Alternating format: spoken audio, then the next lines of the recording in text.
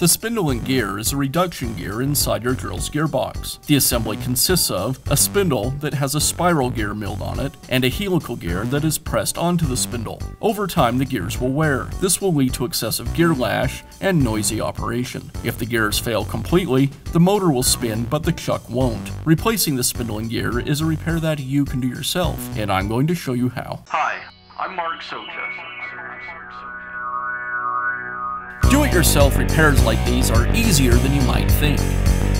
From lawn machines to cordless drills, kitchen mixers, Outdoor grills. our how-to videos walk you through each repair from start to finish. So doing it yourself means never having to do it alone. Let's get started. I'll begin by removing the chuck.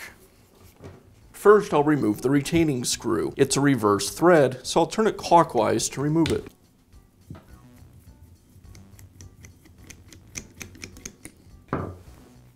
With the retaining screw removed, now I can remove the chuck. To do that, I'll take a large Allen wrench and chuck it inside the chuck. I'll rotate the Allen wrench around so it's sitting just a little above level. Then I'll use a rubber mallet to quickly strike the Allen wrench and the quick momentum will break the chuck free from the thread.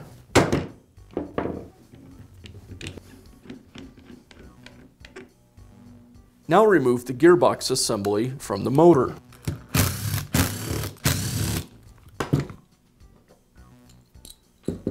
Now remove the spindle and gear. With the gear removed, I can remove the bearing. Notice with the bearing, there's a washer on either side of it. The second washer is stuck in the grease on the gear. I'll remove it with a magnet. Now I can install the new gear. I'll place the gear back into the needle bearing on the gearbox. Now I can reinstall the needle bearing. I'll place one of the flat washers over the gear spindle. Then I'll install the needle bearing. I'll press a little of the grease into the needle bearing. And then I'll install the second washer. Now I'll reinstall the gasket. I align it with the pins on the gearbox and make sure it's sitting flat all the way around. Now I can reinstall the gearbox to the motor. You may need to rotate the spindle a little bit to get the gears to align. And I'll secure it with the screws. Now I'll reinstall the chuck. I'll thread the chuck onto the spindle and I'll place the Allen wrench back into it.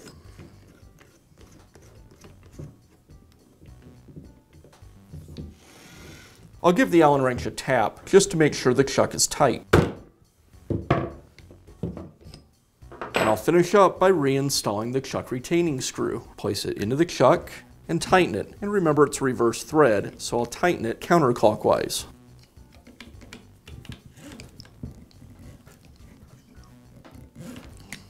And that's how you can install a new spindle and gear in your drill. Be sure to check back often for new videos and expert advice. If you found this video helpful, give us a thumbs up. And leave a comment.